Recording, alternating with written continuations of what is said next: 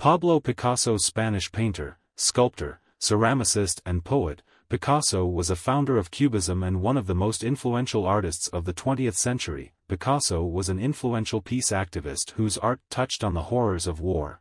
Pablo Picasso was born in Malaga, Spain in 1881 to a conventional artistic family. From an early age, he displayed a talent for painting and began displaying his work from the age of 14. To further his artistic aspiration he left Spain for Paris where he became part of a new avant-garde movement of art.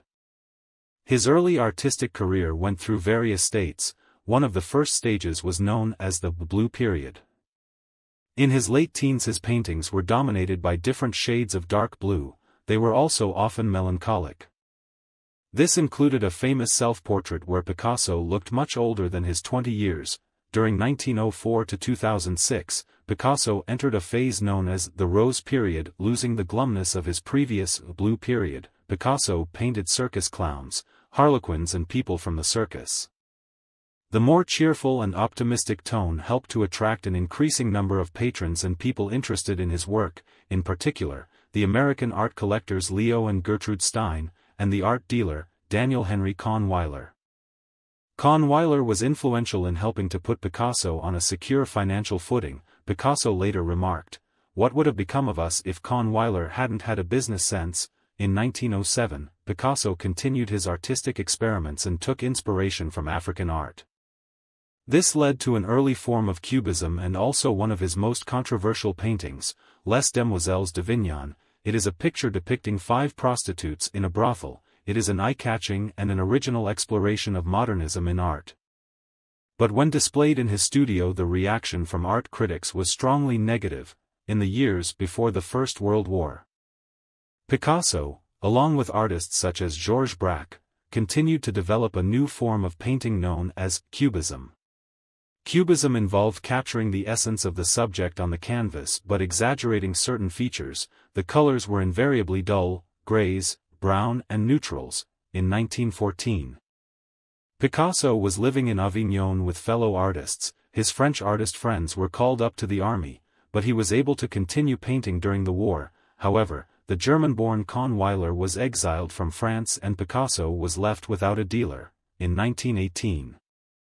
Picasso married ballerina Olga Khokhlova, shortly after he began a fruitful relationship with the French art dealer Paul Rosenberg. Rosenberg became good friends with Picasso and helped the couple settle in Paris, giving Picasso a new artistic social circle.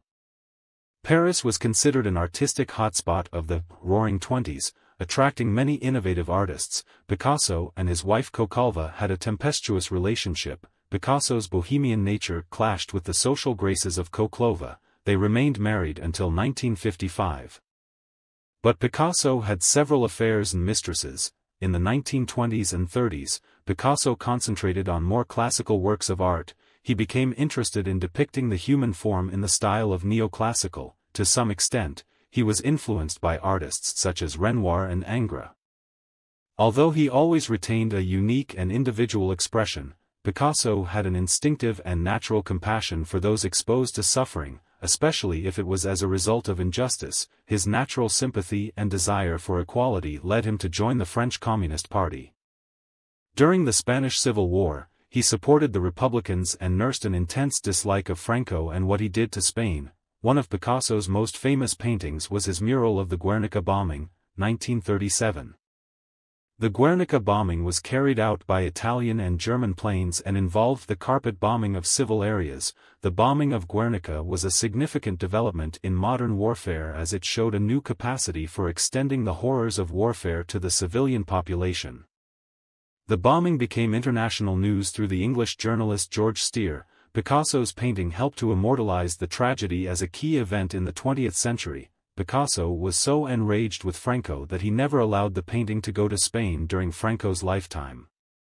It eventually reached Spain in 1981. Another key painting of Picasso was his simple bird drawing a symbol of peace. Picasso donated it the Soviet-backed World Peace Congress of 1949. It was telling of a new phase in Picasso's art, the power of simplicity.